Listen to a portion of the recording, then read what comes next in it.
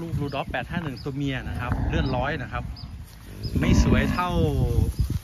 ลูกสติงเลนะครับสองศูนะครับ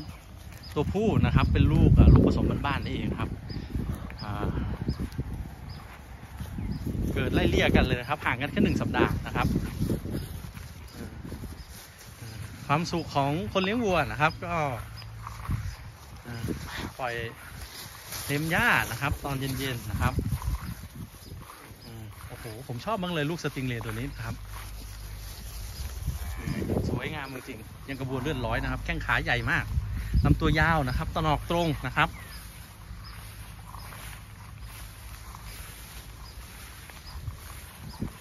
ส่วนอีกตัววัวผมเองก็คืออลูกรูดอฟ851 นะครับ ไม่ได้สวยมาก แต่ก็ลำตัวยาวแต่ดูบางไปนิดนะครับ ไม่ค่อยหนาเท่าไหร่เมื่อเทียบกับตัวผู้นะครับ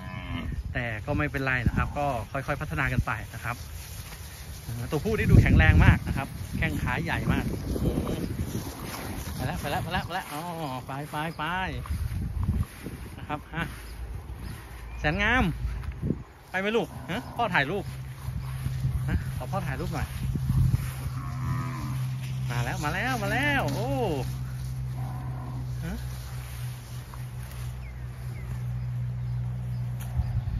ช่วงนี้หญ้าเยอะนะครับ สนุกกับการกินหญ้านะครับ เดี๋ยวโตวันโตคืนนะครับสวยจริงๆครับลูกของสติงเล่นะครับสองศูนหนึ่งนะครับจากการฝานะครับตัวนี้นะครับติชมได้นะครับ ผมมองว่าผมก็ไม่ค่อยมีความรู้ว่าสติงเล่ให้ลูกสวยเท่าไหร่หรือเปล่า แต่ว่าดูจากตัวนี้แล้วลูกสวยมากนะครับลำตัวยาวนะครับ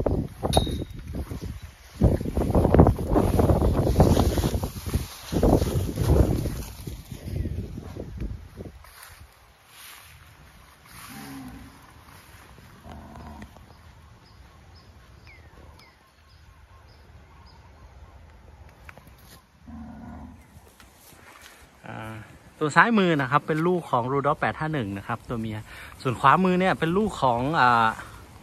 สติงเรย์อ่า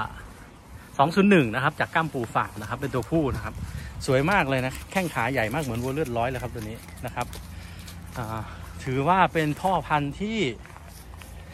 ให้ลูกได้งามมากนะครับ สติงเรย์นะครับตะนอกมาเต็มนะครับ